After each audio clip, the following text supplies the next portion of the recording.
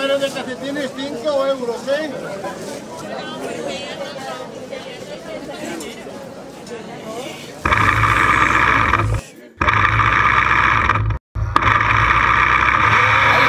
Ahí está el plano. Por detrás Rosso va a quedar mucha distancia.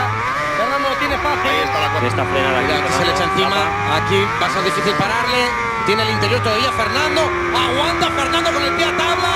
Mantiene el coche dentro de los límites.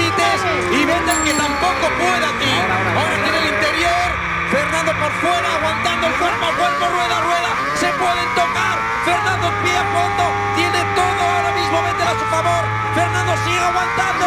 Entra Fernando. Ha sido una gran carrera de Fernando, donde quizás ha habido algún pequeño error de la escudería Renault al haberle adelantado esa parada en boxes.